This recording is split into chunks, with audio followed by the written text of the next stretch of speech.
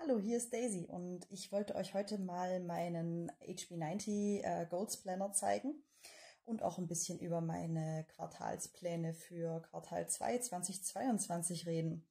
Ja, ähm, der HB90 Planner ist ein ja, ein Planer für Autoren und Autorinnen von Sarah Cannon. Äh, das ist eine Indie-Autorin aus den USA.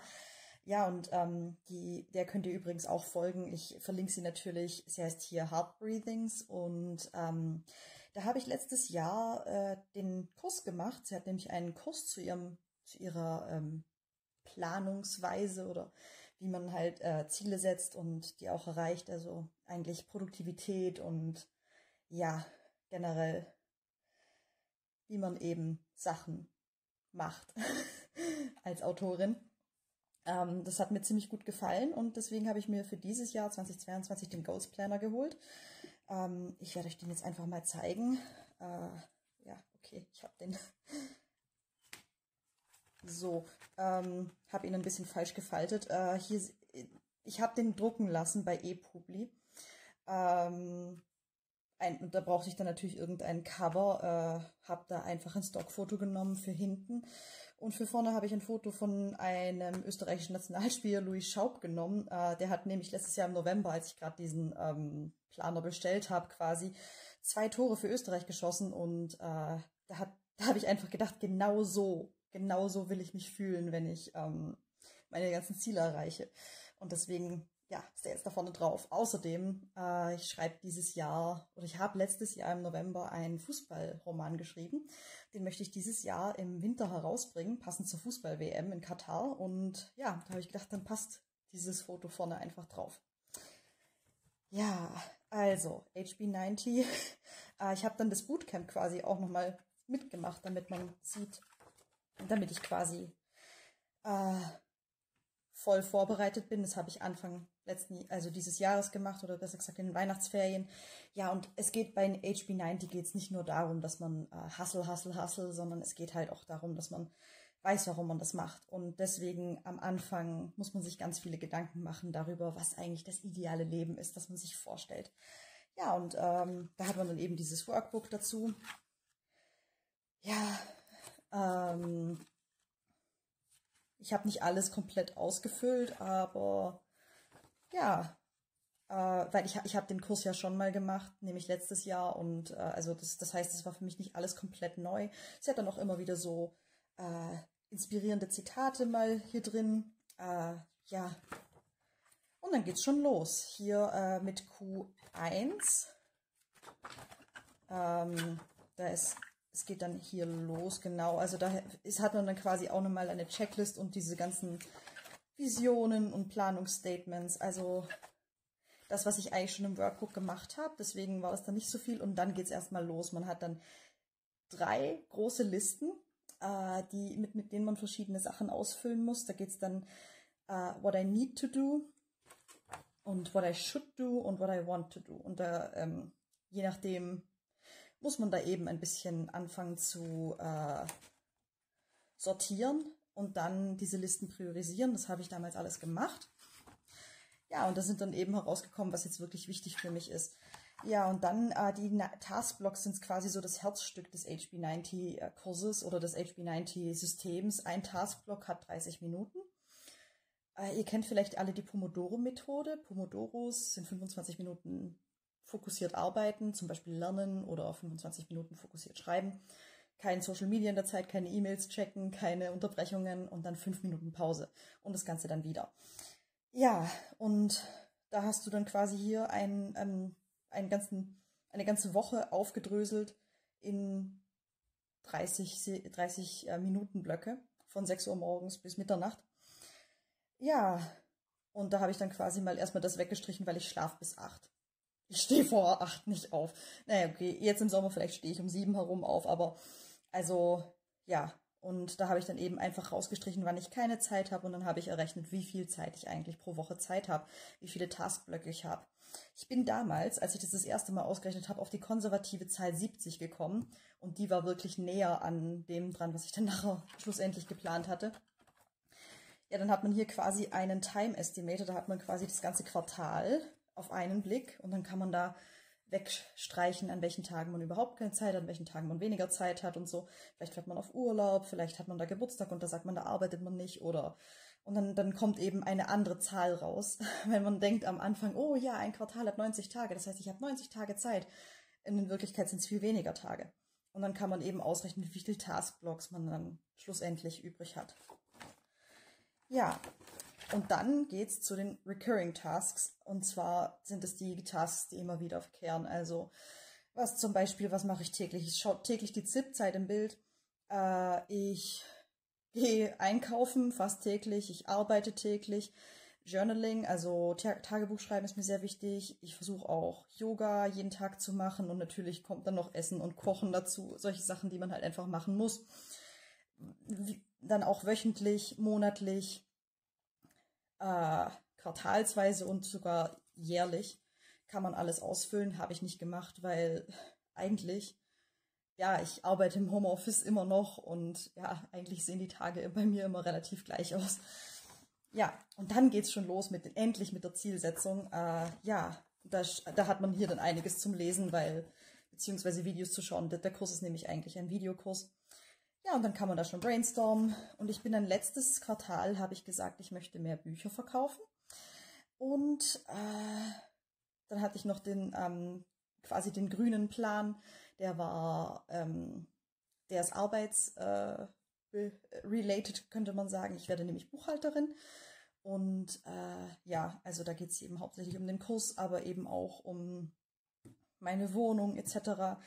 Ja, und äh, Goal 3, also das äh, dritte Ziel, das war Mental Health related und ich werde das eigentlich jetzt auch im nächsten Quartal, werde ich diese ähm, Ziele eigentlich genauso beibehalten. Ich habe sie ein bisschen getweakt, kann ich dir dann gleich, kann ich euch dann gleich noch zeigen. Ja, und dann kommt man, bekommt man nochmal so ein Taskblock-Sheet und da kann man dann schauen, wie viele Tage man jetzt wirklich Zeit hat und äh, oder wie, viel, wie viele Taskblocks man wirklich hat. Und ich habe dann einfach, da ich dann gesagt habe, okay, die Arbeit muss ich nicht wegstreichen von den Taskblocks, die ich habe, sondern ich nehme die einfach mit rein in mein Ziel, hatte ich dann auf einmal mehr Zeit und bin auf die Zahl 123 Taskblocks gekommen. Das ist verdammt viel. ähm, ja, dann hat man hier den Project Brainstorm mit den ganzen Tasks, die man für, also mit den ganzen To-Dos quasi, die man für ein, für, für ein äh, Ziel hat. Ja. Und da ist dann quasi das Ziel dann nochmal aufgedröselt. Also man hat da in diesem Workbook wirklich ähm, alle Möglichkeiten, alles wirklich aufzuschreiben. Ich finde, da hat die Sarah wirklich an alles gedacht. Ähm, ja, Genau, und da, da der Project Plan, da ganz ehrlich, der ist super. Wenn ich ich glaube, ich werde mir den einfach rausziehen aus diesem PDF und den nochmal ausdrucken, weil der ist wirklich Gold wert. Also das ist der Project Planner. Ähm, ja, und dann geht's eigentlich schon los. äh, die Milestones habe ich beim letzten Mal nicht gemacht. Dieses Jahr, dieses Quartal werde ich es aber definitiv noch machen. Ja, und dann geht's da schon los. So sieht, so sieht eine Woche aus. Ähm, ja, und da sieht man dann eigentlich auch schon, äh, dass ich eigentlich mit der ersten äh, Kalkulation von 70 Taskblocks pro Woche wesentlich besser dran lag als ähm, eigentlich gedacht. Und ja, ich, ich versuche das Ganze mit Color Coding zu machen. Das ist der Stift, den ich dabei benutze. Der ist von Pushin. Und der hat ganz viele Farben. Und ich habe halt einfach gesagt, ja, okay, äh, lila ist mein, meine Schreibarbeit, grün ist die Arbeit und pink ist das Mental Health Goal. Ja, und da sieht man dann eigentlich, wie es sich dann in den letzten, in den nächsten Wochen dann immer entwickelt hat. Ich bin immer so bei circa 78 Taskblocks dann schlu schlussendlich stehen geblieben. Also ich denke, äh, realistisch gesehen könnte man sagen, wenn ich 80 Taskblocks im, in der Woche habe, dann komme ich da ungefähr drauf. Außerdem hat man jeden Monat ein Review. Also eigentlich hat man jede Woche ja schon quasi dieses Review. Da fragt, da wird eben so gefragt, worauf bin ich stolz? Was war schwierig? Äh, bin ich auf dem richtigen Weg? Was für Deadlines kommen? Und äh, was muss ich machen, um äh, ja, zu, äh, um erfolgreich zu sein? Das ist jede Woche zu beantworten. Habe ich nicht immer gemacht, aber ähm, an sich sollte man sich, also an sich, äh, ich bin da auch jemand, der da eigentlich relativ streng mit mir selbst ist und dann sagt, okay, aber du musst dich hinsetzen und dir Zeit dafür nehmen. Ja, äh, und dann jeden Monat hat man dann quasi auch ein Review zu schreiben, wie es denn so gelaufen ist. Und äh, der Jänner lief bei mir überhaupt nicht gut, um es mal so zu sagen. Ähm, ja, Februar war dann auch viel zu tun. Da bin ich dann auf Urlaub gefahren, aber der Urlaub hatte auch mit dem Schreiben zu tun. Ich war nämlich auf einem Schreibretreat. Ich habe mir, ähm, weil mein Buch spielt in Bad Gastein. Nicht das Fußballbuch, ein anderes Buch, das ähm, Vampirbuch, das spielt in Bad Gastein. Und da habe ich gedacht, ich fahre jetzt nach Bad Gastein und mache dann quasi ähm, Recherche für mein Buch. Ja, das hat super geklappt. Ja, bis ich dann zurückgekommen bin und einfach mal eine Woche komplett vergessen habe einzutragen. ja, ähm, ich muss sagen, ich verwende diesen monatlichen Überblick so gut wie nie. Äh, in keinem meiner Planer. Ich muss mir dafür mal was überlegen. Vielleicht mache ich da einen Workout-Tracker oder sowas rein, aber ja, ich benutze den eigentlich in keinem meiner Planer so wirklich. Ja, und ähm, das war dann schon der März. Äh, ich tue jetzt mal fast forward. Ende März ist Ende des Quartals und deswegen hat man da kein Monatsreview, sondern ein Quartalsreview. Und das ist, da schaut man eben, das ist etwas länger, da schaut man, was wichtig war. Dann hat man hier noch Notizen und dann geht es schon weiter mit dem Q2. Ich habe dann schon gesagt, äh, ich habe mir jetzt quasi wieder, ja, die, die, mit den Listen habe ich mich diesmal nicht aufgehalten, weil ich die noch vom letzten Quartal hat. Das hat sich dann nicht so viel geändert. Ja. Und deswegen komme ich dann zu diesen Zielen. Ja, ich habe da Zahlen hingeschrieben. Ähm, bitte vergleich dich nicht damit, wenn du selbst Bücher schreibst oder so. Ähm, die sind wirklich bloß für mich. Vielleicht soll ich die auch abdecken oder so. Ja. Ähm, und diesmal habe ich die Ziele anders aufgeteilt, weil die auch in meinem äh, Passion Planner Daily, den ich äh, täglich verwende oder fast täglich verwende, so aufgeteilt sind. Da kommt nämlich zuerst äh, My Game Changer Goal, dann kommt Personal und dann kommt äh, Work. Und so halte ich das quasi jetzt, ähm, damit das dann in der gleichen Reihenfolge wie im, äh, äh, wie im Passion Planner Daily ist, den ich euch in einem anderen Video zeige. Ja, und da war dann wieder der Pro Projekt äh, Brainstorm. Habe ich diesmal äh, gar nicht so genau ausgefüllt, weil ich eigentlich eh schon wusste, was jetzt alles kommt. Ja. Äh, Future Projects, die ähm, fülle ich eigentlich nie aus, weil ich habe die alle in Trello. Ein Teil von dem HB90-System ist nämlich ein Kanban-Board. Ähm, was genau das ist, erklärt auch die Sarah auf ihrem, ihrem Kanal ganz toll. Ich persönlich kannte das Kanban-Board schon von der Arbeit. Ich arbeite nämlich in, einem, in einer IT-Firma ähm, und wir sind so Agile und Scrum basiert und deswegen ist ein Kanban-Board, da ist da quasi, das gehört dazu. Ja, und dann habe ich mir ein Kanban-Board quasi für die Schreibarbeit gemacht und deswegen sind die Future Projects, die sind alle da in dem Kanban-Board schon geparkt quasi. So benutzt man eigentlich ein Kanban-Board nicht, muss man gleich dazu sagen. Das ist ein bisschen appropriated, aber äh, es funktioniert so für mich, sagen wir mal so. Ja, und äh, jetzt beginnt dann schon bald der April, nämlich morgen. Ähm, ja, äh, wirklich beginnen tut er dann aber hier erst am 4. 4. April. Und ja, dieser April wird, oh, richtig, richtig spannend. Ich habe nämlich ähm, die Buchhaltungspraxisprüfung im Mai. Das heißt, ich werde viel lernen. Äh, es ist Camp NaNoWriMo und ich habe ein Vampirbuch fertig zu schreiben, weil das will zu meiner Beta-Leserin und die hat Osterferien und in den Osterferien hat sie viel Zeit. Hallo Anna, wenn du das anschaust. ähm, deswegen muss das eben noch fertig werden. Das heißt, es ist so parallel in, den, in das Camp quasi hineingeblutet, das Vampirbuch. Und dann kommt da noch ähm, das Camp-Projekt, das ist Kitty. Äh, und Kitty soll dann noch in diesem Quartal herauskommen, nämlich passenderweise zur Festivalsaison, also im Juni. Und das ist dann quasi jetzt ähm, Kitty fertig kriegen, mein Camp-Projekt.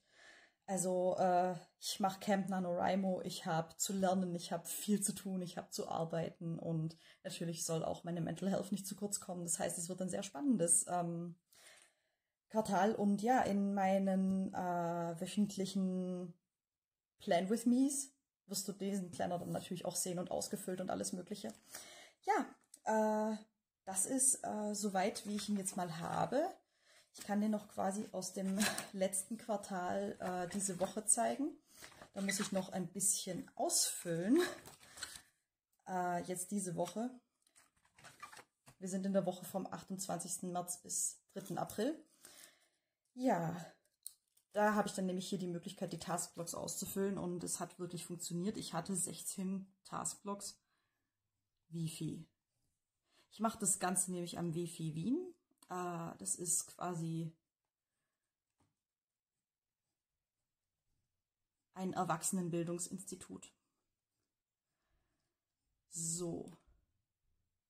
Ah, das geht nicht. 16 Stunden. Also es waren wirklich 16 Stunden. Gut, ähm, ja, lernen werde ich dann morgen. Schreiben werde ich auch morgen. Kitty werde ich auch morgen. Und dann ähm, tanzen habe ich schon erledigt. Ähm, Tagebuch geschrieben habe ich gestern auch.